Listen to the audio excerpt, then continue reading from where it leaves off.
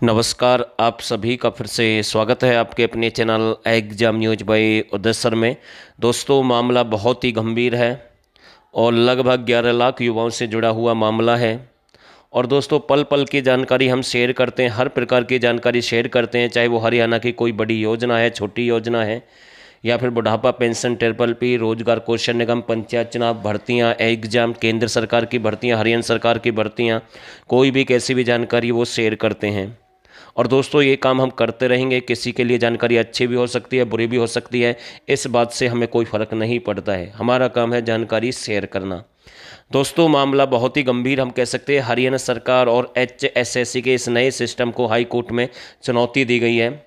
बड़ी समस्या कौन सी है जिसकी वजह से चुनौती दी गई है हाई कोर्ट में? तो बात करेंगे उस मुद्दे पर।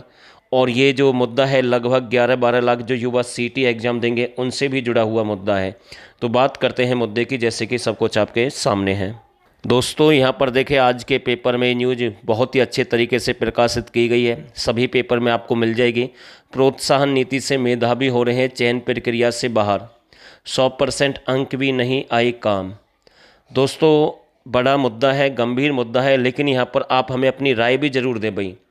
यहाँ पर देख लेते हैं कौन सी राय है, वो हम आपको बताएँगे इस वीडियो के माध्यम से। करनाल की मोनिका ने प्रदेश सरकार की नीति को दी हाई कोर्ट में चुनौती। अब देखते हैं यहाँ पर क्या सिस्टम है। जूनियर सिस्टम इंजीनियर के 146 पदों की भर्ती के लिए आयोजित परीक्षा में 100 प्रतिशत अंक लेने के बावजूद भी मेधावी आवेदकों के चयन सूची से बाहर होने के दलील देते हुए प्रोत्साहन के 10 अंक देने के प्रावधान को पंजाब हरियाणा हाईकोर्ट में चुनौती दी गई है भाई।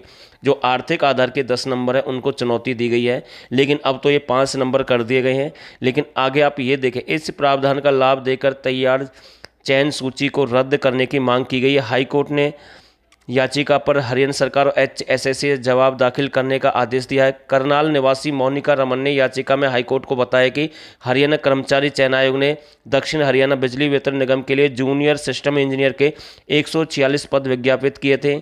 इन पदों के लिए नब्बे नब्बे अंकों की फरवरी महीने में परीक्षा आयोजित की गई। याची परीक्षा में बैठी और नब्बे में से नब्बे अंक प्राप्त किए। जब चयन सूची आई तो उसका नाम उसमें मौजूद नहीं था। जब याची ने जानकारी जुटाई तो पता चला कि सामाजिक, आर्थिक आधार के दस अंकों के कारण याचिका दायर जिसने याचिका की वो मेरिट से बाहर हो गई है भाई। दोस्तों, आप मुझे एक बात ये ज़रूर बताएँ, नब्बे नंबर का पेपर हुआ है। ठीक है, दस नंबर की वजह से इसका सिलेक्शन नहीं हुआ, बिल्कुल जायज़ है। और कहीं ना कहीं इसकी मांग बिल्कुल जायज़ भी हम कह सकते हैं। लेकिन थोड़ा सा आप सोच समझ कर इस बात का ज़रूर आंसर दें। भाई, जो नब्बे नंबर का पेपर होता है और किसी को नहीं पता होता कि इसमें कैसे क्वेश्चन आएँगे, किस टाइप का पेपर होगा, और नब्बे में से नब्बे लेने बड़े मुश्किल है भाई। आप सभी जानते हैं, लेकिन मैं नहीं कहता कि भाई इन्होंने मेहनत की होगी, हो सकता है इनके नब्बे में से नब्बे भी आए हों, लेकिन बहुत ही कम चांस नज़र आते हैं ऐसे केस में। बाकी आप अपनी राय एक बार ज़रूर दें कि नब्बे में से नब्बे नंबर आ सकते हैं या नहीं आ सकते हैं। दूसरा, मैं आपको यहाँ पर ये बता रहा हूँ, दस नंबर जो आर्थिक आधार के उसकी वजह से ये मेरिट से बाहर हो गई है। और इन्होंने ये भी बताया है कि जो चौरासी नंबर वाले थे, उनका भी सिलेक्शन हो गया है और मेरे नब्बे में से नब्बे आए मेरा तब भी सिलेक्शन नहीं हुआ है।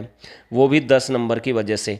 अब इसको हाई कोर्ट में चुनौती दी गई है और सरकार ने ये जो नीति है 2019 में बनाई थी अब सरकार इस नीति को, यानी कि जो सी e है, उसमें भी लागू कर रही है।